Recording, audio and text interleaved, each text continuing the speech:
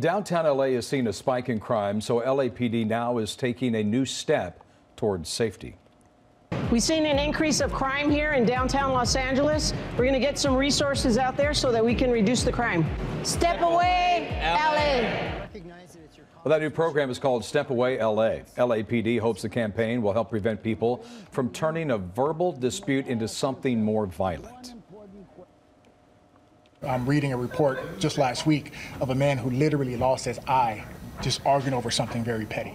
So seeing this over and over again, hearing the concerns of the communities, uh, us putting resources out there to tackle the issue, uh, gave me the idea to, hey, let's come up with a PSA.